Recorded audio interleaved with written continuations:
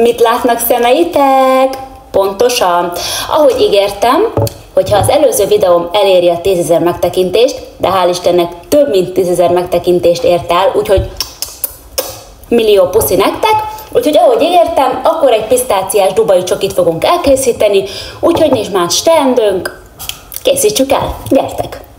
Ami kell hozzá, táblacsoki, kettő tejcsokisat vettem, és vettem hozzá még egy fehér csokisat, aztán ugye kell hozzá pisztáciakrém, illetve még kell hozzá ez a tészta, amitől megmondom az őszintét, kicsit tartok, hogy milyen ízű lesz ettől a tésztától, de nem baj. Aztán még a Pepkóba vettem ilyen kis tartót, amiben fogjuk csinálni. Úgyhogy kezdjük! Tehát egyébként így néz ki a tészta, én most ezt szépen felvágom, aztán viszont megpirítom vajon.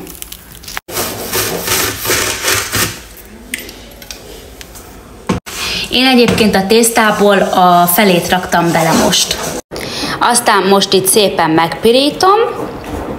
Nos, én felmelegítettem a fehér csokit a mikróba vízbe, úgyhogy most ez kerül alá. Na, tehát így gondoltam ki, most viszont jön a tejcsoki. Én összekavartam a pisztáciakrémet, illetve ugye a pirított tésztát.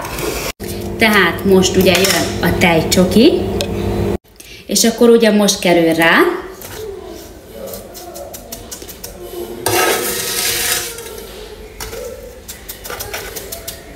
Mindjárt mutatom nektek, hogy néz ki. És ez most megy a mélyhűtőbe. Kikerült a fagyasztóból, most viszont kerül rá ismételten a tejcsoki. Fog bemenni a mélyhűtőbe, és akkor utána megkóstizzuk. Na csekkoljuk le! Így néz ki az enyém. Jó vastag lett, úgyhogy szerintem én ezt vágom ö, törés helyett, mivel szerintem ezt ö, nem lehet széttörni. Várjatok. Na, tehát ilyen lett belülről, ketté vágtam, ilyen belülről és ilyen belülről, most pedig gyertek és csekkoljuk. Na hát én most bele fogok harapni.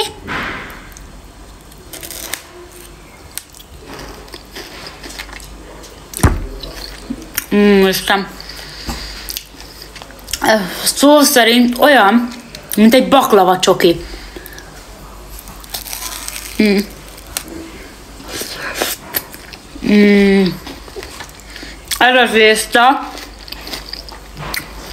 olyan szinten ízt ad neki, pedig én féltem tőle az elején, ugye, de na, ez a tészta mindenféleképpen kell bele,